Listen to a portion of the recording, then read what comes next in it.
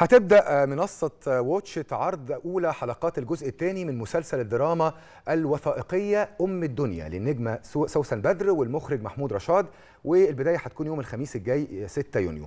أم الدنيا في الموسم الأول تناول عرض تشويقي وإنساني بسيط ملم بتاريخ مصر الطويل من بدايته وحتى العصر الحديث. في الجزء الثاني إن شاء الله هنشوف بداية دخول الرومان مصر وحتى عصر الدولة الفاطمية ودخول العرب والجيش الإسلامي.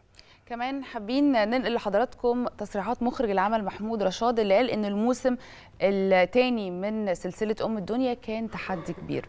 صورنا في أماكن كتير جدا أديرة وكنائس في كل حتة خصوصا كنائس الصعيد والأديرة في اليوب والدلتا. وصورنا كمان في إسكندرية كتير أكتر من السنة اللي فاتت وصورنا في الأقصر وفي القاهرة. الحقيقة البرومو التشويقي لأم الدنيا من أول نزوله على منصة واتشت وإحنا قدام كده لوحة فنية بديعة واستثنائية بترسم تاريخ مصر. مصر في مختلف الأماكن الأثرية والدينية. مصر أم الدنيا. تعالوا نتابع مع بعض.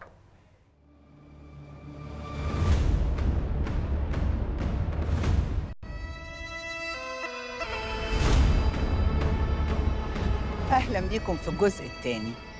من أم الدنيا. الرومان قادمين ومعاهم ظلم وقهر.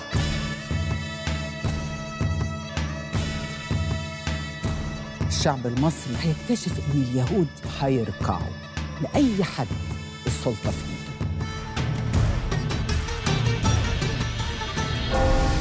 وبيصبح أملهم في نبوءه بتقول إن ربنا هيبعت لليهود ملك جديد. بشارة المسيح قد تحققت. هاللويا هاللويا. أهلا بيكم في سنة واحد ميلاديا. رحلة استغرقت 300 سنة من القسوة والآلام والدماء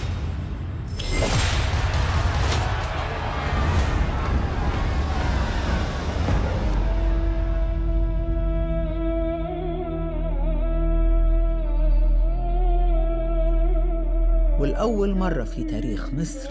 هتسمع هتافات الجيش الإسلامي ثقافة جديدة دين جديد شعب جديد. بعد دخول العرب بيكون مر علينا ثلاث خلافات مختلفة. بين مصر القديمة ومصر الحديثة. إحنا بقينا مين؟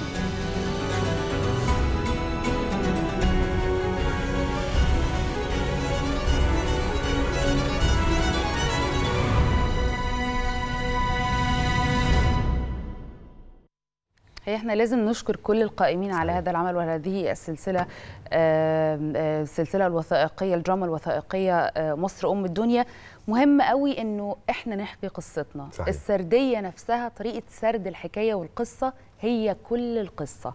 فكرة إن إن شخص يحكي تفاصيل تاريخك دي مشكلة كبيرة جدا. ده الوقت اللي خلاص لازم إحنا فيه نحكي تاريخنا بنفسنا نحكي التاريخ الحقيقي للبلد دي.